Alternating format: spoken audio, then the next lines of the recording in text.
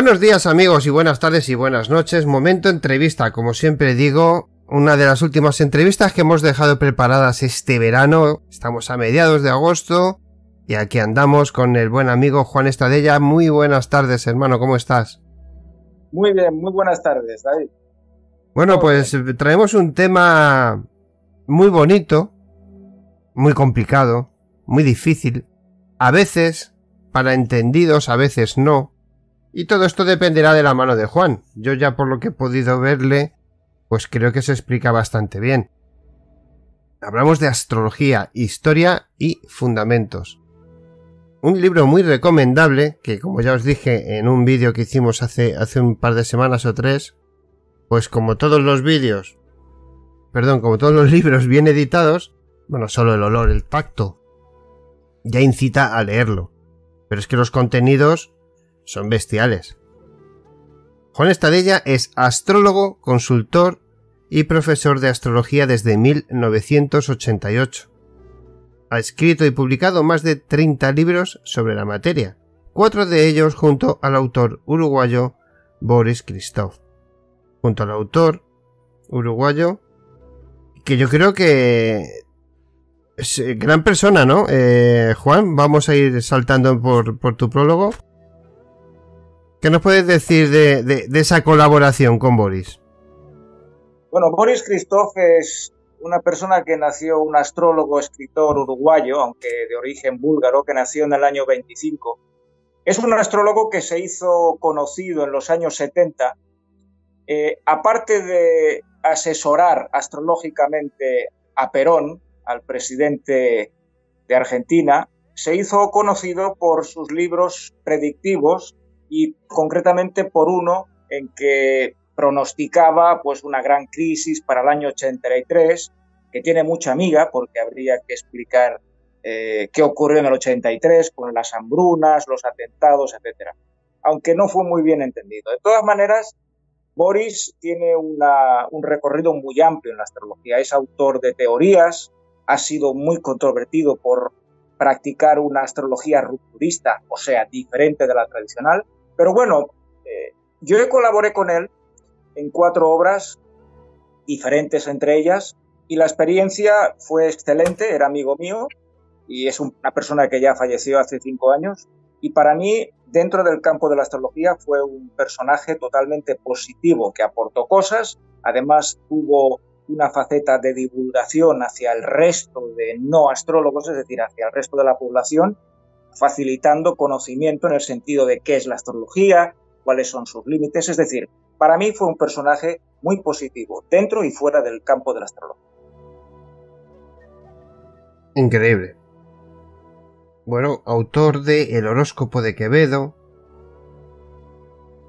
Eh, sí, estudio publicado por la Fundación Francisco de Quevedo en 2010. Ponente habitual en congresos de astrología nacionales e internacionales, fue presidente de la Asociación de Astrología de Cataluña entre el 98 y los 2000, del boletín revista Ciclas, creador del Fondo Bibliográfico Biblioteca Astrológica de Juan Estadella y Gerardo Sánchez, donado a la Biblioteca Nacional de Cataluña, organizador de jornadas, congresos, distinguido con cuatro importantes premios internacionales, autor de numerosas predicciones astrológicas, que de esto ya te preguntaré, porque claro, al que entiende de esto siempre le andan preguntando por lo mismo. ¿Cuántas veces te habrán preguntado en tu vida por, por el número de la lotería, Juan? Muchas veces. Pero te aseguro que si los astrólogos tuviéramos la respuesta, no estaríamos perdiendo tiempo entre signos, símbolos y demás cuestiones Astrología, historia, fundamentos, astrólogos célebres, predicciones y futuro de una disciplina tan antigua como sorprendente. Bueno, ¿cómo, cómo definir algo que hace, hace cientos de años, por no decir miles, que son miles, bueno, pues parecía menos que, que el ABC de las guerras, del crecimiento de las ciudades y había reyes, eh, papas y personajes históricos que no movían un dedo sin consultar con su astrólogo particular desde luego. Bueno, podemos empezar, si te parece, David, por definir la astrología. La astrología es la disciplina que estudia la posición, el movimiento de los astros, por decirlo de manera sencilla, pero es realmente el cosmos, e, e, estudia todo lo, toda nuestra realidad celeste eh, y su relación con el mundo sublunar, es decir, lo que ocurre aquí en la Tierra, y desde todos los ámbitos, desde el ámbito puramente personal, hasta el puramente colectivo, en el sentido de cuál es nuestro destino social, etcétera, etcétera. Tiene diferentes ramas, diferentes apartados, por ejemplo, la astrología natal, que se ocupa de la carta astral de cada uno de nosotros, con nuestro carácter, potencial, destino, pero también tiene otras ramas que en otra época fueron mucho más importantes, aunque ahora no lo son menos, pero en otra época brillaron porque había un astrólogo al lado de un rey o de un presidente, de un papa, y es la astrología mundial, que se ocupa de predecir, o sea, de pronosticar, de analizar nuestra realidad colectiva. Pero hay otras ramas, astrología médica, astrología empresarial, astrología de las relaciones, que nos habla de si somos compatibles o no con nuestro socio, nuestra pareja. Es decir, es una disciplina antiquísima con diferentes apartados o ramas que, como tú bien decías, a lo largo de la historia ha tenido mayor o menor brillo, pero que hay una constante, algo recurrente, y es que siempre, siempre, siempre ha estado en el candelero. En ningún momento la gente se, ha dejado de preguntar acerca de su realidad individual o colectiva o qué le deparaba el futuro. Es decir, eso siempre nos ha acompañado porque es algo consustancial al ser humano. Es decir, el mañana es un interrogante. Queremos saber qué puede acontecernos, en lo personal o en lo colectivo. En la época de creencias que vivimos, un poco más alejados ya de, digamos que Occidente poco a poco va dejando ese cristianismo más, más eh, metido en la cabeza de, de, años anteriores. La religión está pasando por uno de los peores momentos. Y la astrología eh, no sé cómo se ubica hoy día en 2022 en la mente de las personas. Yo no sé, no tengo claro de todo lo que nos vas a contar, sucesos, eh, cosas, eh, movimientos, porque si hay una cosa que yo sí tengo clara, es que cuando uno mira hacia arriba, existe una conexión que no podemos explicar, sea cual sea. Ni los científicos hoy día, más versados en astronomía, nos pueden decir por qué. Yo, a nivel personal tengo mi opinión, yo tengo muy claro que todo viene de ahí fuera, estamos formados, como se suele decir, de polvo de estrellas, ¿no? Y las conexiones tienen que existir de alguna manera. Entre la vida y la muerte no hay apenas más de un instante en la vida del universo insignificante. Entonces, eh, ¿cómo conecta la astrología moderna, si quieres, o, si prefieres empezar por algo más antiguo, ¿no? Pero en una época en la que ya no creemos tanto en las religiones, quitando en las zonas del mundo donde te obligan, si no crees en esto te matan, que casi es así, eh, pero en la época más moderna las religiones ya están como un poquito a un lado, ¿no? Sí. Eh, tú empezabas diciendo en que cómo se podía ubicar hoy en día un conocimiento como el astrológico, la astrología, en una etapa de la humanidad en la cual parece ser que las religiones están cambiando, se están diluyendo, están en un proceso de cambio. A ver, hay que separar lo que es la creencia eh, puramente religiosa del conocimiento astrológico. Es cierto que la astrología ha acompañado, al igual que las diferentes religiones, sea cual sea, la hinduista, la, budista, la, la cristiana, todas, a la humanidad en los últimos siglos y milenios. Pero la astrología corre paralelo, corre paralela con respecto a las religiones. Es decir, no hay que ver a la astrología como una creencia, como sí lo es, y muy respetable cualquier religión, sino que hay que verlo como un conocimiento que aunque intrínsecamente tiene una parte de filosofía, incluso de metafísica, e incluso de, eh, ¿qué te diré yo? Algo que va más allá de lo que es una disciplina o una, una ciencia o una ciencia arte, que yo creo que es más la astrología, hay que verla como un conocimiento aplicable.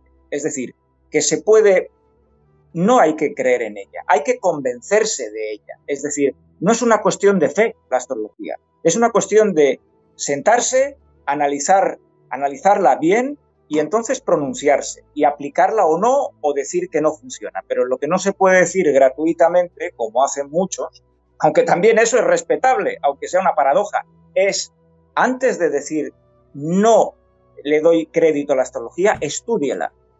Mire a ver si, ah, si, si detrás de ella existe algo. Por ejemplo, la obra que tienes tú en la mano, que estamos comentando, mi obra Astrología, que es la última, justamente está dirigida a todos los ámbitos, al ámbito, a la persona que es académica y a la persona que consume telebasura. Es igual, todo, la población por completo, no es para astrólogos, aunque también puede ser para astrólogos. Es decir, yo lo que intento transmitir a todos, a la población, es el conocimiento astrológico desde su historia hasta sus pruebas más recientes desde un punto de vista científico, es esto, no otra cosa. Y esto nos puede ayudar justamente a decidirnos y a ubicarla en un contexto o en, un, o en una realidad determinada. Pero al menos leamos qué es la astrología, cuál ha sido su bagaje, su historia y su realidad. Por ejemplo, David, hay una cuestión que también tú tocabas tangencialmente y es el mundo de la ciencia, la realidad presente, es decir, no estamos en, la Edad Media.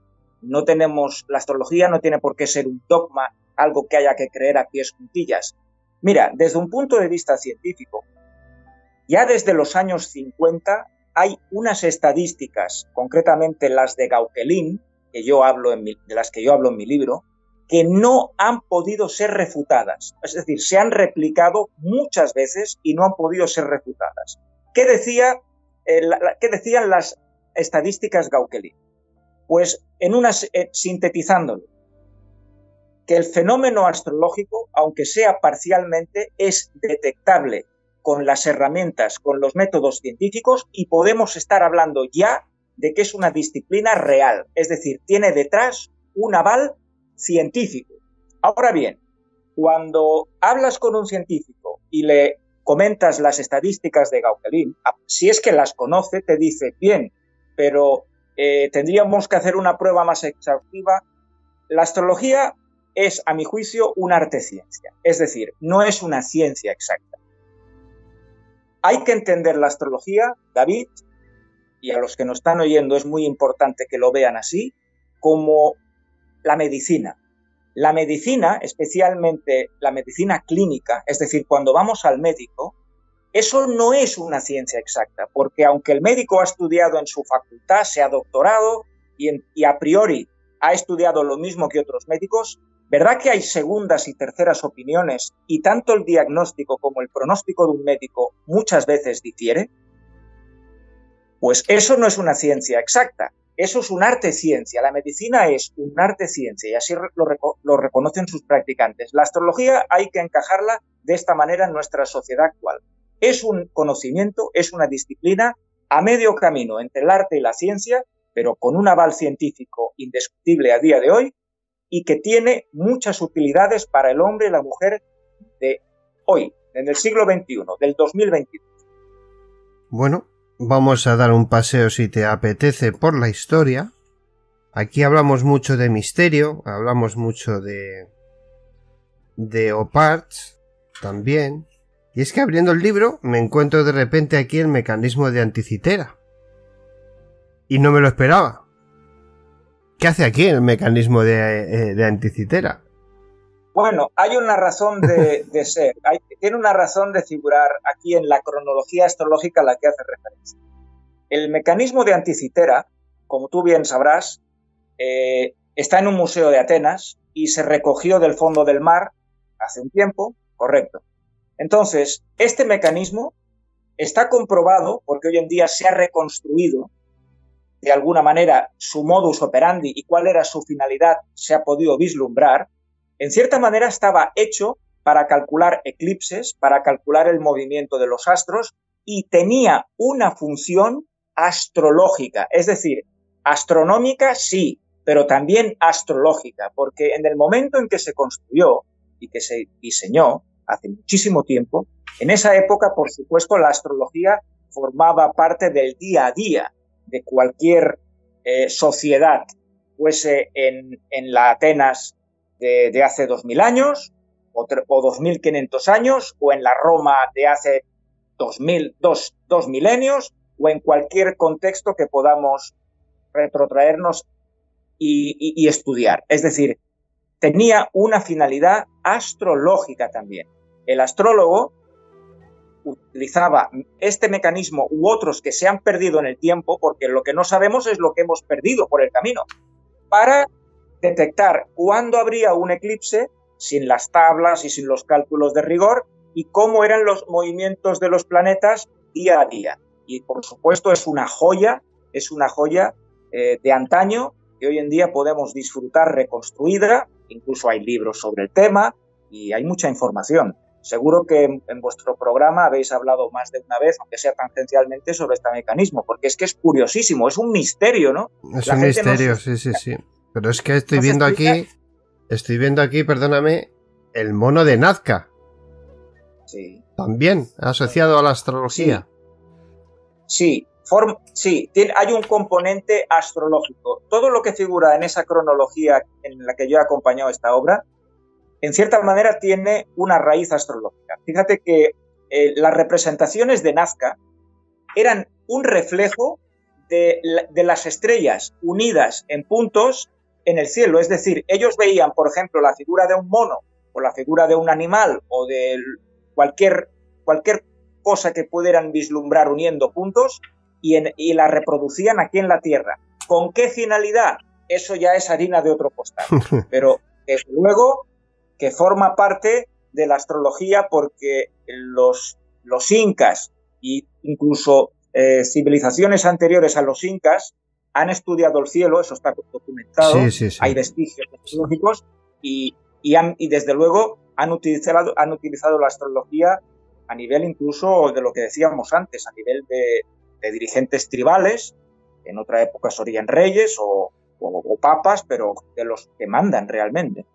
¿Y qué, qué opinión te merece los que sobre la teoría de los antiguos astronautas y qué parte de esa astrología o de esos conocimientos fueron traídos desde otro lado?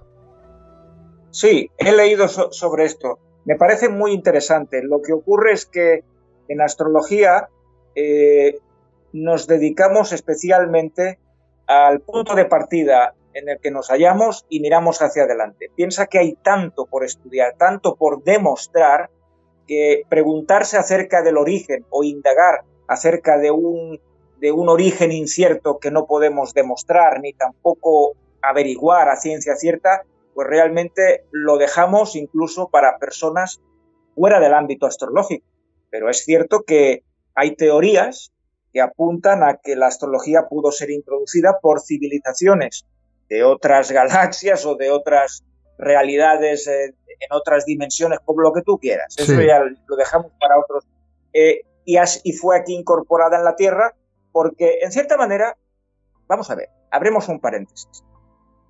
Sé que es eh, difícil de entender cómo un conocimiento tan alambicado, tan sutil, tan que se coge entre con, pinzas puede ser realmente descubierto por el hombre de ayer aquí en la Tierra hace 3, 4, 5, 10, 30 mil años.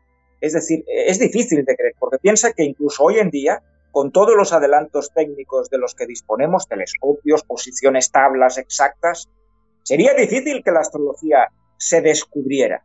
¿De acuerdo?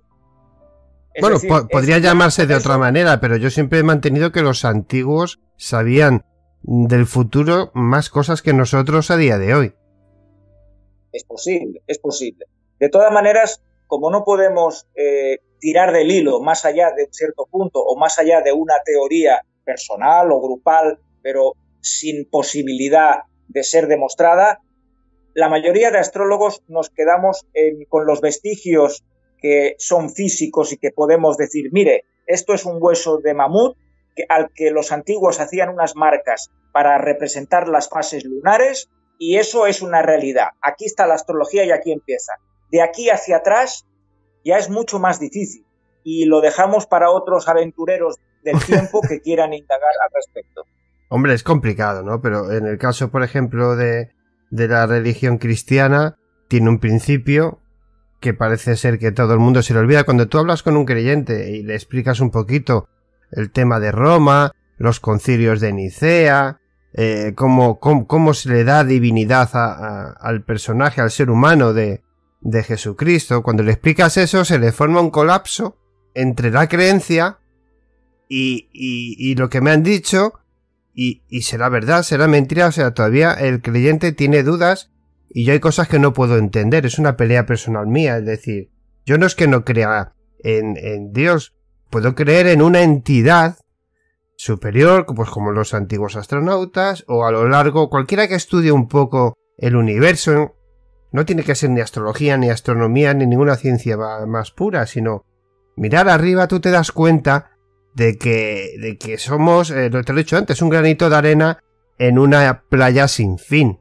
Con lo cual hemos, han, han podido, dependiendo del momento y de los 13.700 millones de años de vida del universo, haber culturas de todo tipo y no coincidir en el tiempo con ellas. Entonces, cuando, cuando el cristianismo te lo cargas con un simple eh, acontecimiento histórico, eso no le sucede a la astrología. La astrología vive de, miles de años antes, como tú decías. El origen, el origen, si supiéramos el origen, probablemente conoceríamos el origen de la humanidad, porque yo creo que lo que hay arriba está muy unido a lo de aquí abajo. Seguro. Y esa es, en cierta manera, la filosofía de la astrología, es decir, el reflejo celeste, el reflejo del cosmos, incorporado a la realidad terrestre. Es decir, como decían los antiguos, lo, como es arriba, es abajo.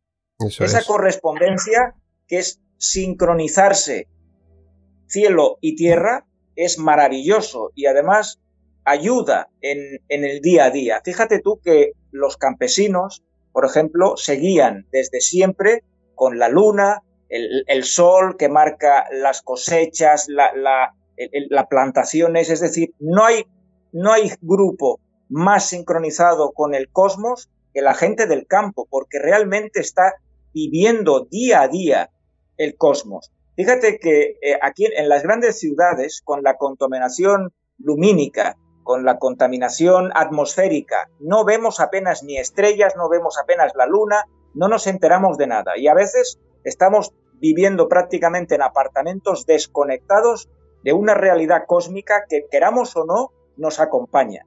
Entonces, mi propuesta como astrólogo es, para todos, pensemos en que hay algo más allá de nuestra vida mundana de gran ciudad y, tan terrenal. Es decir, miremos al cielo y démonos cuenta que desde siempre hemos estado unidos a una realidad cósmica que, queramos o no, como digo, nos influye.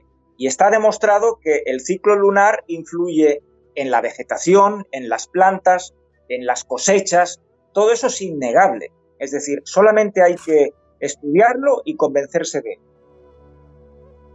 Pero en este aspecto, yo por ejemplo, eh, yo me voy a ir en, en, tres o cuatro días, me voy de vacaciones, yo me voy a ir a Andorra y yo todos los años con los niños lo que hago es me voy por la noche a 2600, 2800 metros, me alejo 3, 4, 5 kilómetros lo que pueda de la zona lumínica y yo te puedo decir que lo que se ve ahí arriba es una locura.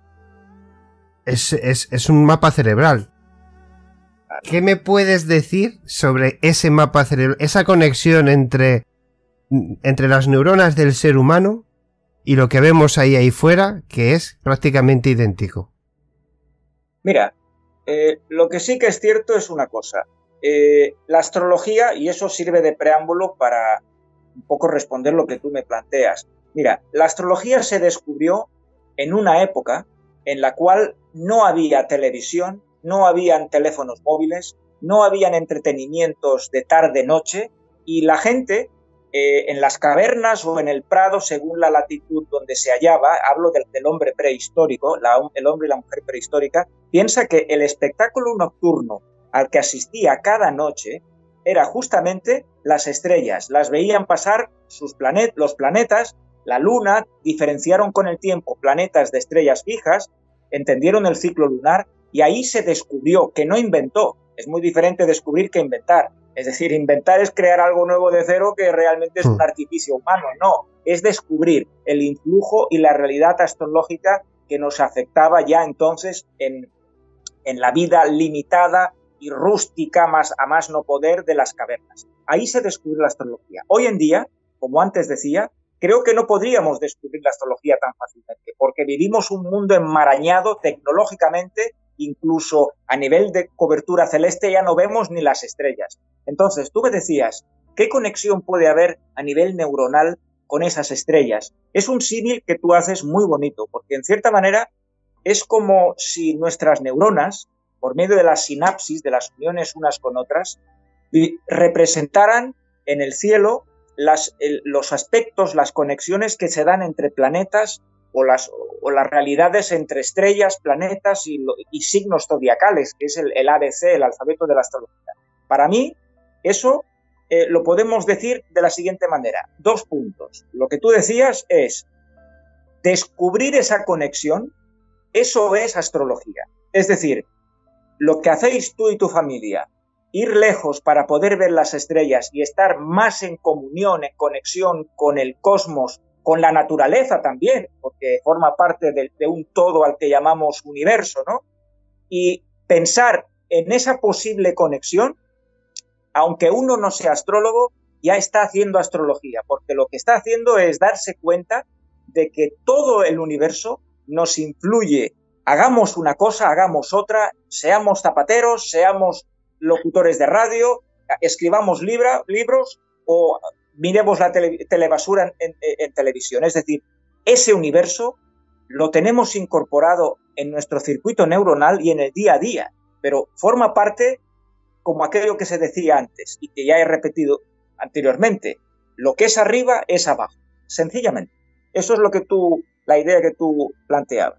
Damos un paseo más y yo siempre digo que, en eh, bueno, cuando empezamos a divulgar misterio, en mi caso hace siete años, bueno, pues todo empieza por un poquito por el mundo de la parapsicología, las pseudociencias, eh, brujería, eh, ese otro lado. Y al final uno, después de tantas investigaciones de campo, salidas, entrevistas a periodistas de todo tipo, escritores de todo tipo, profesionales, analistas forenses, bueno, yo, yo, por aquí ha pasado mucha gente uno se da cuenta de que al final, yo siempre pongo el mismo ejemplo, eh, no creo ni que una cosa sea tan pura como más que la otra. Creo que hay un puzzle en el que las conexiones entre ese otro lado, esas, esas pequeñas visiones de, alguien que, que, ya no está, esa energía, forma parte de un puzzle, no sé si es cuántico, energético, no lo sé, pero todo forma parte de, para mí, del mismo puzzle, solo que no sabemos interpretarlo y al no saber interpretarlo, no somos capaces de poner cada pieza en su sitio. Correcto.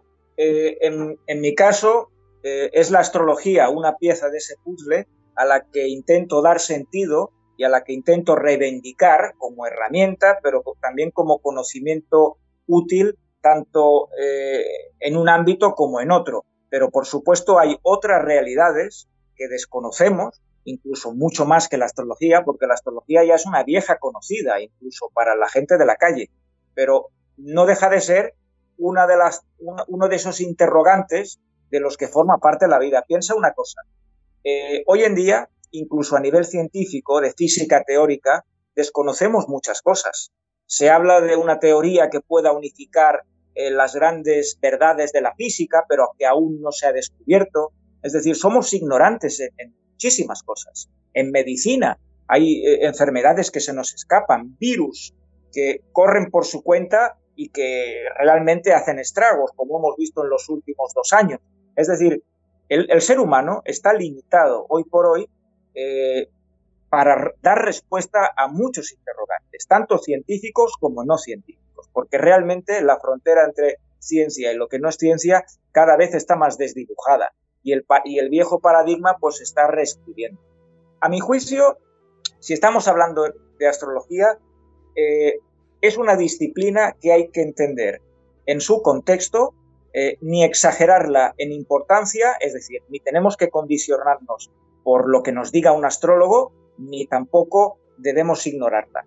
Eh, así como vamos al médico cuando estamos enfermos y nos diagnostica tal cosa y da un pronóstico y nos recomienda esta pastillita, el astrólogo tiene a ser así como una persona que estudiando nuestra carta natal, es decir, la posición de los planetas eh, y, el resto de, elementos del, del, horóscopo, de la carta natal, el día que nacimos, en una hora, en lugar determinado, etcétera, etcétera, nos dice cómo está nuestra realidad, cómo somos a nivel caracterológico, nuestro potencial profesional, asociativo, etcétera, etcétera, e incluso puede vislumbrar las tendencias de futuro. Si tú me permites, David, quisiera incluir una pequeña cuestión recurrente que se escapa incluso más allá del mundo de la astrología y es el concepto que tenemos de destino. Es decir, está escrito el destino eh, desde la vertiente astrológica, que es la que ahora nos ocupa en esta tarde de verano, por decirlo así.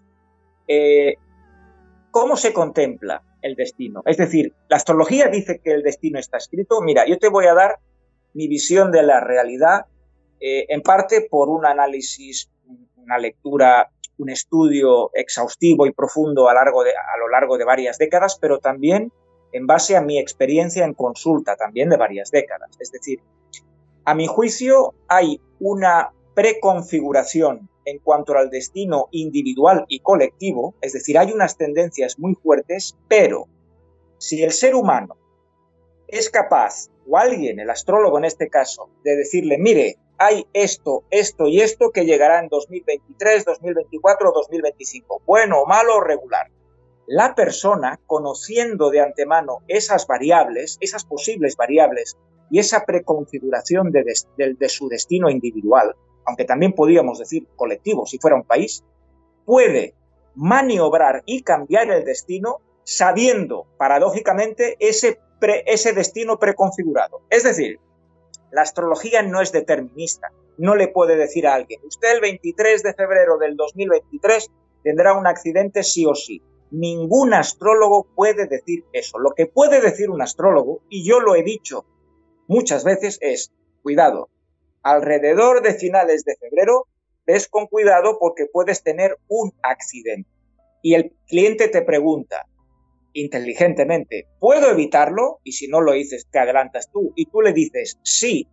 ¿Cómo? Pues muy sencillo. En la segunda, tercera o primera semana ya de marzo del año que viene, del 2023, si vas en moto, aparcas la moto y vas en transporte público. Y si no puedes evitar dejar la moto o el coche, ves con mayor prudencia. Es decir, podemos establecer una especie de eh, situación de choque para intentar cambiar nuestro destino y también para maximizar cuando el destino es positivo, para ir a más.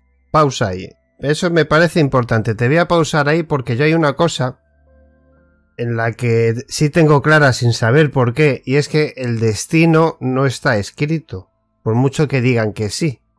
A la hora de que tú vas a trabajar todos los días, el ser humano es un ser que se repite mucho, es un ser social, y que normalmente tú vas al trabajo y haces el mismo recorrido todos los días. Es muy difícil que lo cambies. Pero si ese día que ibas a, que giras a la izquierda en tal calle, giras a la derecha, tu vida cambia por completo durante unos instantes. Toda la gente que te cruzas es distinta. La temperatura puede ser distinta, el viento es distinto, todo es ajeno a tu día a día. Entonces, mm, yo no creo en este aspecto que a lo mejor cambiar, no sabemos cómo puede tener ese accidente. Puede ser que justamente por dejar la moto y coger el tren, esto es un poquito como lo que yo digo de la Ouija, ¿no? Que la gente cuando hace la Ouija se predispone a que suceda algo y va con esa predisposición. Creo que la predisposición nos, nos lleva hacia un camino que no estábamos predestinados a coger. No sé si me entiendes lo que te quiero decir. Sí, perfectamente. Entonces, eh, y ya aprovecho y te doy un salto muy grande. en lo que yo estoy diciendo y en un personaje, por ejemplo, como Nostradamus, que, eh, que era una auténtica joya de ser humano, ese hombre que era adivinador, astrólogo, era visionario o era capaz de ver de alguna manera por estadísticas los sucesos que se podían dar cara al futuro. No. A ver, Nostradamus era un médico con una formación astrológica innegable. Lo que pasa era que era un individuo con una intuición, una sensibilidad tan alta que realmente captaba lo que no captan muchos astrólogos. Eso es como, por, por ejemplo, un médico que tiene un sexto sentido que te dice, por los síntomas que me dices, aunque la mayoría de médicos te dirán esa cosa, yo creo que puede ser eso, y acierta. Es decir, Nostradamus era una persona que realmente, desde un punto de vista de sus predicciones célebres, se basaba en la astrología, eso está demostrado. Ahora bien, eh, las formulaba, sus predicciones, en un lenguaje críptico, en parte porque no podía ser muy claro en esa época, porque lo podían haber quemado, eso es así, ni tampoco él lo consideraba prudente porque sus predicciones colectivas podían condicionar en exceso. No sabemos bien qué había en la cabeza de Nostradamus al eh, formular predicciones tan críticas, tan alambicadas y tan sutiles que casi casi se pueden eh, emborronar fácilmente y nunca, nunca daba años, es decir, realmente, y cuando daba años realmente no se ajustaban a lo que había. A mi juicio, Nostradamus era una persona, como digo, astrólogo, con una sensibilidad extrema, pero eso es extrapolable al ámbito de la medicina, al ámbito de la física teórica, al, al ámbito de la matemática, es decir, en cualquier campo encontramos personajes con una sensibilidad, una intuición fuera de serie, incluso en el campo del fútbol, eh, eh, en el, ámbito deportivo, que aplican su intuición para desmarcarse y meter ahí la, la, pierna cuando ahí no había, ningún balón y meten gol. Es decir, eso se dan todos los campos. ¿De acuerdo? Quiero, quiero contestar a una, a un elemento que, si me permites, David, que, sugerías antes tú con respecto a esa persona que quiere evitar un accidente, pero que dejando una moto quizá toma un, transporte público y tiene un accidente. A ver, lo que hacemos en astrología es los... Eh, establecemos, por ejemplo, cuando vemos unas semanas o un mes o tres meses en que hay riesgo físico para la persona, porque también podría ser un riesgo económico, y entonces la advertencia sería, oiga, en esos tres meses o en estas tres semanas no compra o no invierta usted en bolsa o no haga locuras financieras. Bien, si es en riesgo físico, eh, nos movemos por el sentido común. Es decir, a ver, usted es profesor de parapente, bien, pues tómese vacaciones febrero y marzo del 2023.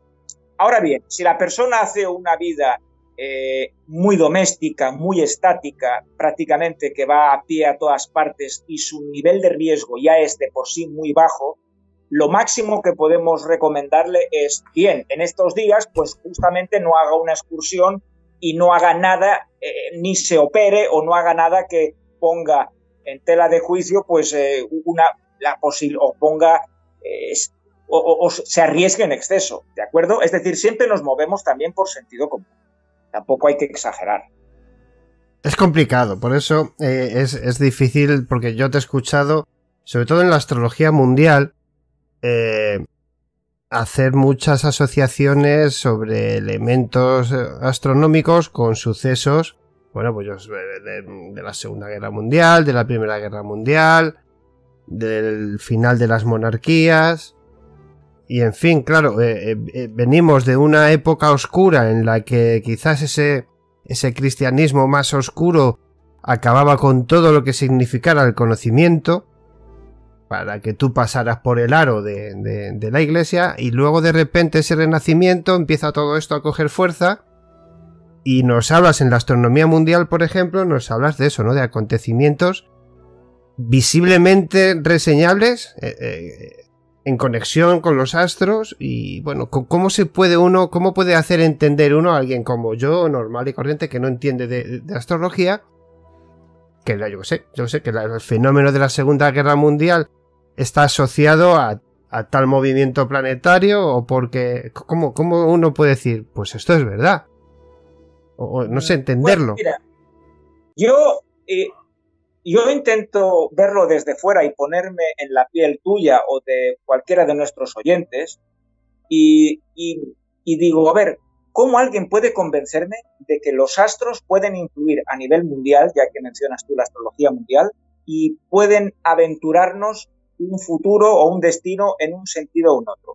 Y entonces yo, yo, yo, me, yo lo que haría es, eh, podemos, ¿hay, ¿hay alguna prueba de que haya habido algún acierto reciente? Mira, eh, el mérito no es mío, sino que el mérito es de la astrología y de sus herramientas. Pero yo en un libro que publiqué en 2007, en ediciones Índigo, el título del libro era justamente Astrología Mundial.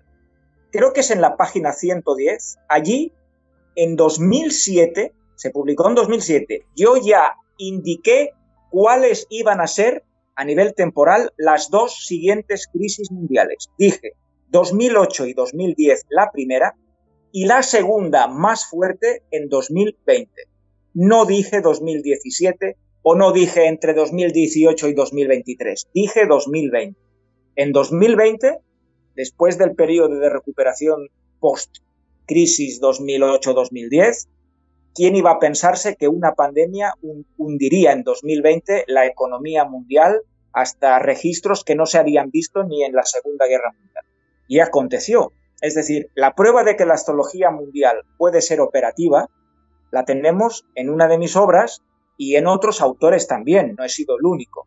Pero ya que hay pocos especialistas en astrología mundial, hay que mencionar pues, las pocas obras que hay. Eh, tenemos pruebas de que hemos sabido los astrólogos especialistas en astrología mundial pronosticar con acierto los hechos de los últimos 30 y 40 años incluyendo la caída de la Unión Soviética y del telón de acero en el año 89. Eso está pronosticado por un astrólogo francés de nombre André Barbeau y algún que otro astrólogo eh, bastante, con bastantes años de antelación. Es decir, eso son pruebas. Realmente. Pero perdóname, eh, eh, Juan, ¿cómo diferencio yo? Es que de, de, una estadística pura sobre un suceso que dices estadísticamente el telón de acero va a caer porque, porque, porque tenía que caer más tarde o más temprano sobre estas fechas, sobre lo que tú me estás diciendo que astrológicamente hablando se sabía que eso iba a pasar. No, no, no consigo captar la, eh, la diferencia. A ver, eh, en el caso del telón de acero, por ejemplo. analicemos punto por punto. En el caso del telón de acero es evidente que unos pocos años ya, antes ya se veía que la Unión Soviética iba a colapsar económica y políticamente. Ahora bien, aventurarse a que en un año en concreto puede ocurrir ya es una cosa más delicada. Por ejemplo, yo no voy a justificar lo de la Unión Soviética porque no es una previsión mía, pero yo en 2007 pronostiqué las dos siguientes crisis. ¿Cuál es, según la teoría de probabilidades, la posibilidad de acertar el año de la segunda crisis, que ha sido además la más fuerte, en 2020? Cuando yo escribí el libro en 2007. Hubiera, podido decir 2018 y equivocarme. Hubiera podido decir 2023, que aún no hemos llegado, y equivocarme. Es decir, cuando yo acompaño una previsión como las que después se demostraron ciertas, con una tabla, con un gráfico, con una herramienta en la que explico, y en el libro Astrología, que tenemos ahora, que le estamos comentando, allí explico cómo funciona este gráfico. Es decir, hay, es, un, es, sencillamente eh, calcular la distancia entre los planetas más lentos y establecer un coeficiente y unir una serie de puntos año tras año. Es decir, cuando los, te, te lo diré para que lo entendáis todos los que no sabéis astrología mundial. Hay una realidad de la que nos dimos cuenta hace muchos, muchos años los astrólogos mundialistas y es cuando los planetas pesados, es decir, de Júpiter a Plutón, están juntos en el cielo, es decir, en la banda zodiacal, están más próximos que en otras fechas, el mundo va mal. Cuanto más próximos, peor. Y cuanto más repartidos están en toda la banda zodiacal, el mundo va mejor y, y podemos establecer pronósticos positivos. Es decir, no es una intuición, no es una corazonada, no es lanzar una moneda al aire, es decir, nos basamos en una herramienta que cualquiera de nuestros oyentes o lector, si, es si lee mi libro, puede incluso, sin saber astrología y, con el gráfico que yo incluyo en el libro, saber cuál será la próxima crisis. Sé que es un desafío en el tiempo, pero yo te voy a decir una cosa, David. A ti y a, que nos, a los que nos estáis oyendo. En este libro, en el libro Astrología, hay un gráfico que hay todo el siglo XXI al completo, desde el año 2000 al 2100. Entonces, cada vez que un punto del gráfico de ese chart cae, como ha ocurrido en 2020 y también en 2010, hay un periodo de crisis. Y cuando el punto en ese gráfico está alto, vivimos un momento de auge a nivel político, social o económico. Es así de sencillo. ¿Te acuerdas de la página? Eh, no la tengo aquí a mano, pero... Por ponerlo en pantalla para que lo vean. Un momento, a ver si está. Para que lo pueda ver la gente y así animamos, por cierto, a comprar el libro, que es de estos libros que te enseñan, la verdad, hay libros que enseñan más o menos, este es uno de los que enseñan y mucho.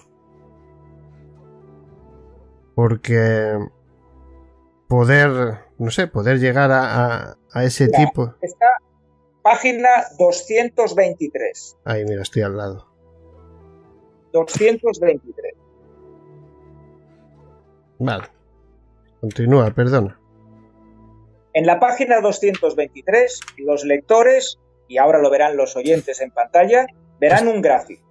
En ese gráfico, que es un gráfico matemático, que no nace de la intuición, ni de una corazonada, ni de tonterías que a uno se le puedan ocurrir soñando, sino es eh, una cosa matemática, porque es sencillamente un coeficiente que se obtiene según la distancia angular a nivel planetario, planetas pesados, para cada momento del año, para cada año, Uniendo esos puntos tenemos el, un gráfico del destino colectivo. Eso es muy serio, el destino colectivo.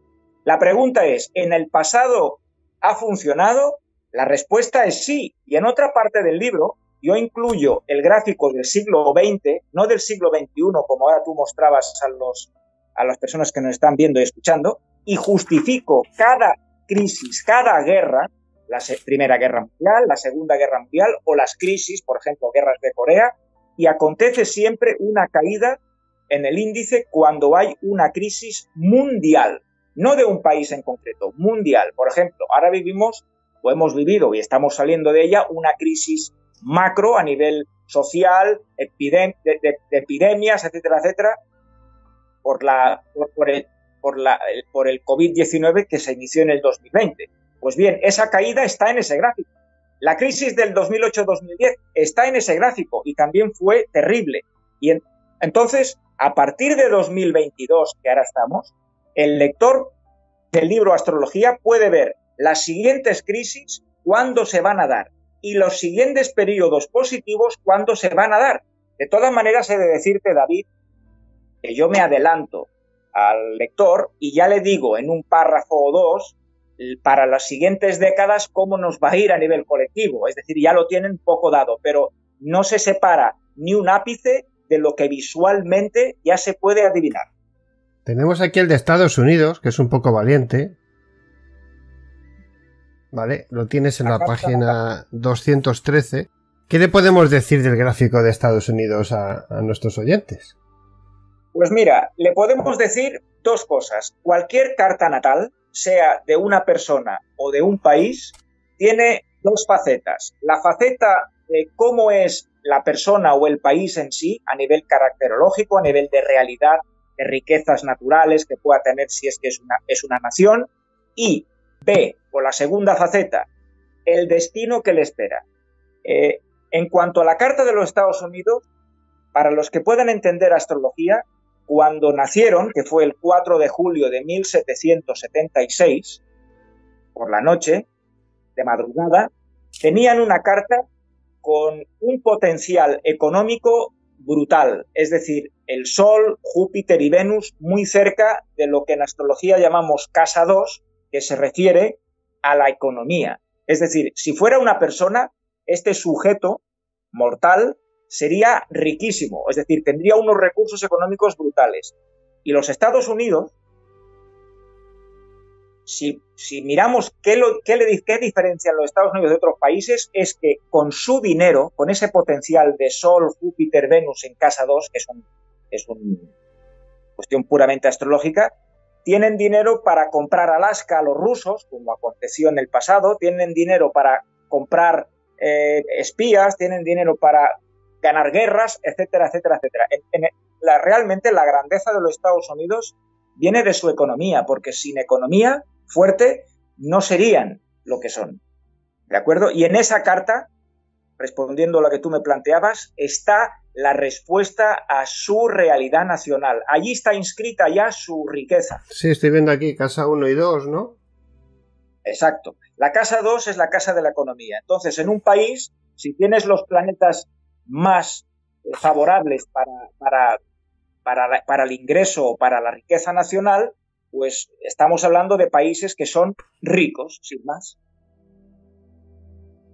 Madre mía, que esto, esto lo que tiene, a mí lo que me da la impresión es que hace falta estudiar muchísimo para, para poder entender un poco, eh, un poco todo esto. Y para eso viene este libro, ¿no? A meternos un poquito en, en la línea de, del conocimiento básico de, de la astrología, ¿no? Historia, fundamentos, astrólogos célebres, predicciones y futuro en una disciplina tan antigua como sorprendente. Bueno, nos quedan unos poquitos minutos te los dejo a ti para que nos cuentes absolutamente lo que más te apetezca sobre tu trabajo, sobre, sobre el futuro, sobre, no sé, sobre este verano, sobre lo que a ti te dé la gana, Juan. Muy bien, David, gracias por la oportunidad de llegar a tus eh, televidentes, oyentes, a ti también y a todos los que ahora mismo nos pueden escuchar.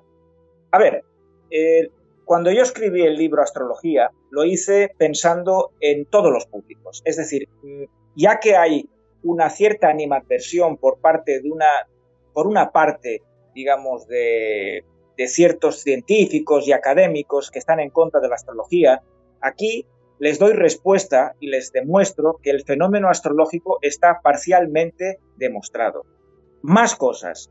Aquí hago un recorrido a través de la historia para que la gente sea consciente de que la astrología nos ha acompañado desde siempre y siempre ha estado en primera fila, acompañando a reyes, papas e incluso decidiendo, ayudando a decidir.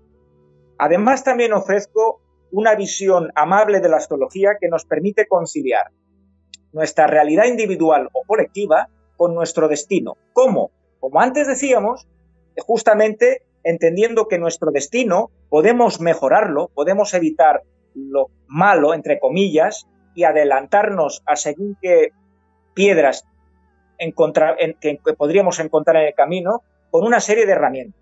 Es decir, este libro está pensado para que todos tengan una noción cabal, justa, de lo que es la astrología de verdad, porque la astrología no es, no es esa punta en el iceberg que figura en, en revistas y en diarios de yo soy Aries, yo soy Tauro, eso es astrología reduccionista, tiene algo de verdad, es cierto, pero la verdadera astrología es una disciplina mucho más profunda y mucho más compleja. Ahora bien, ¿puede alguien, sin tener que estudiar, aprovecharse del conocimiento astrológico? Sí. No únicamente yendo a un buen astrólogo, sino sencillamente comprando una obra como esta, ahí tiene predicciones para los próximos años a nivel colectivo. Si fuimos capaces de detectar y de pronosticar con acierto las dos últimas crisis, ¿por qué no vamos a poder hacerlo para la siguiente?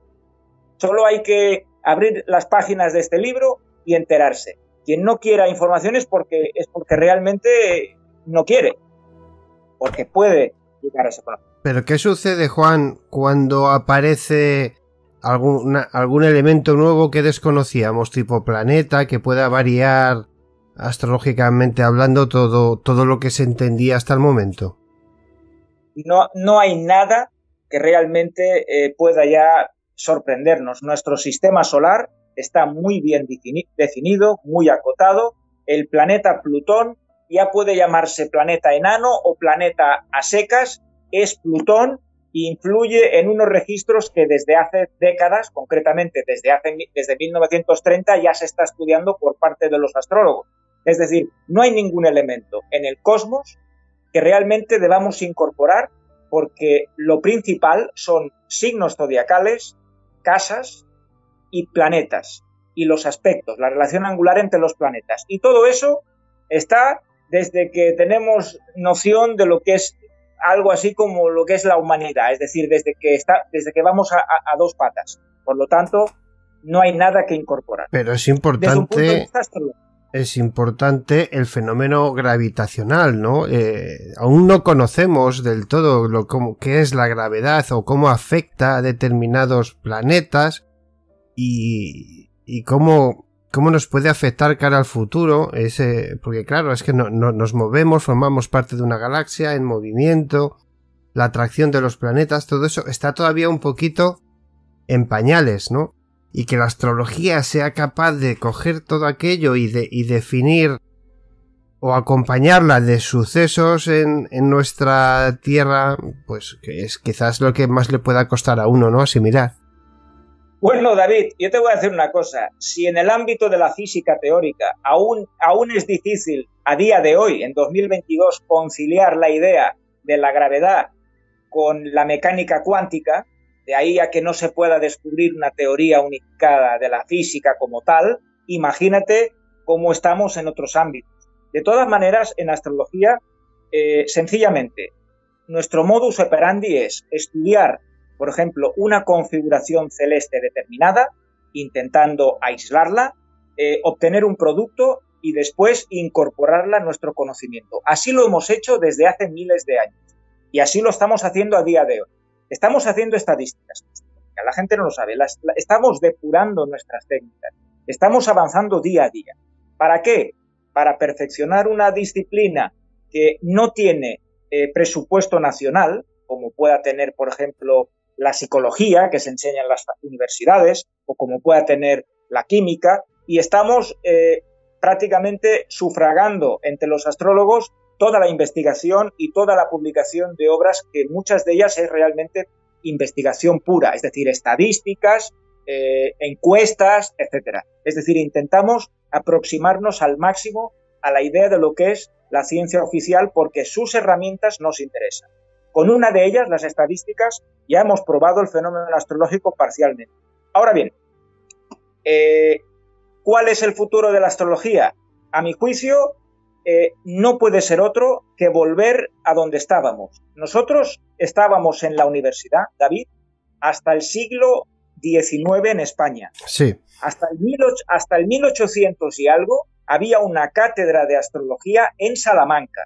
En París hubo una cátedra de astrología hasta 1666, pero Colbert, el ministro plenipotenciario de Luis XIV, la sacó de las universidades porque, bueno, es largo de explicar.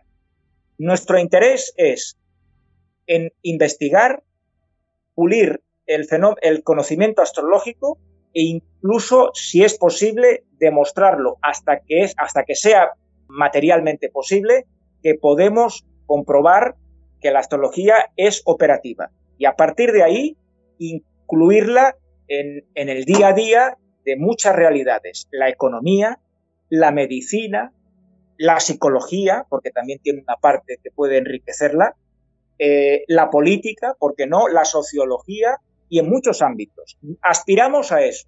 somos ambiciosos en eso. Se me plantea una pregunta eh, ¿La astrología contempla la salud de, de, nuestra estrella, por ejemplo, y de... Porque claro, dependemos de tantas cosas aleatoriamente, desde un volcán hasta un meteorito, hasta cualquier cosa puede acabar con nosotros en, en, un instante. Pero una llamarada solar puede acabar con nuestra tecnología para, para 50 años. Todo ese tipo de sucesos, ¿la astrología también los contempla? ¿El estado de salud de nuestra estrella o de los planetas?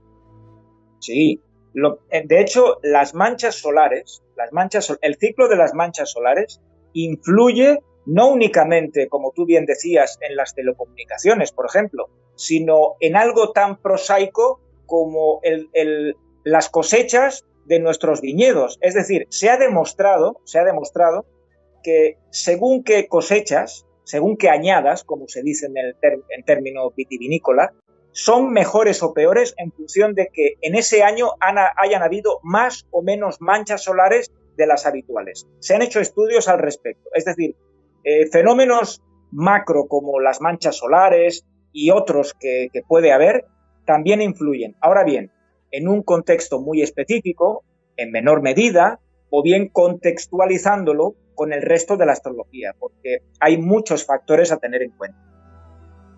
Yo siempre he dicho que la astrología debería de eh, alguna manera volver a estar donde estaba, la verdad. En eso estoy de acuerdo, pues porque con el estudio y con el aprendizaje es quizás la única manera de que sigamos avanzando.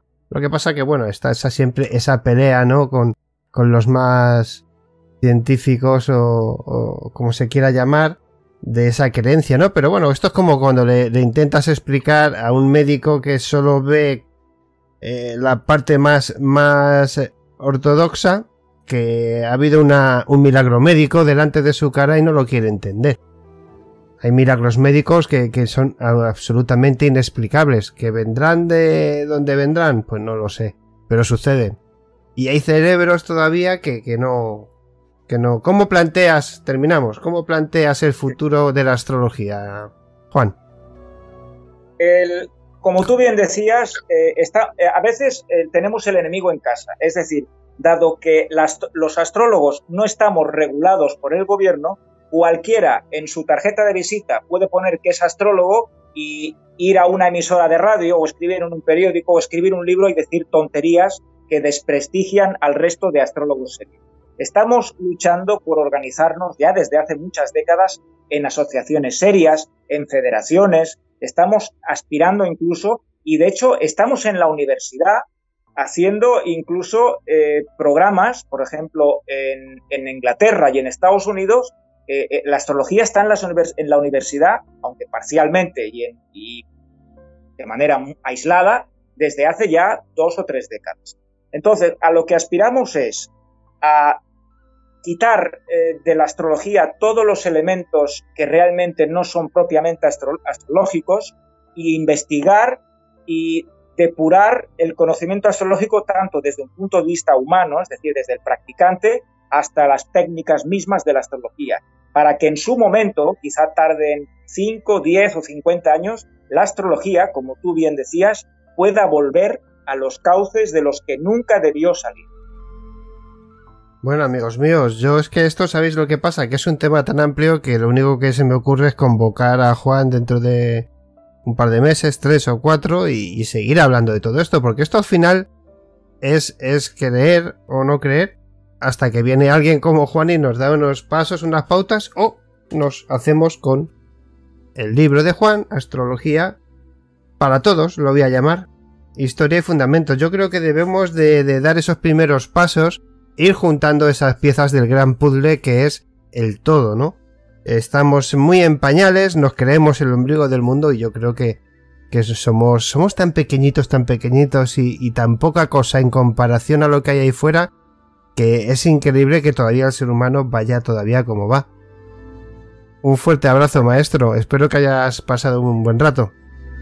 Por supuesto, y estoy, estaré encantado si en otra ocasión me invitáis para poder compartir con vosotros un tiempo, un espacio en vuestro programa. Por supuesto, por, su, por supuesto que sí, cuenta con ello porque hay una sección en mi, en mi programa que empezó el año pasado que se llama Universo Hostil. Y yo de, eh, le dedico entre 15 y a veces hasta media hora pues para hablar de, de, lo que hay ahí fuera porque básicamente es pasión, ¿no? Cuando uno empieza a ver lo que hay ahí fuera o cuando ve una película bien hecha sobre el universo siempre entre comillas, teniendo en cuenta que es una película, pero el cerebro se dispara. Empiezas a creer en que algo es posible. Y esto es un paso más, ¿no? La astrología es un paso más en que ese algo es posible. Muchísimas gracias, maestro. Gracias, David.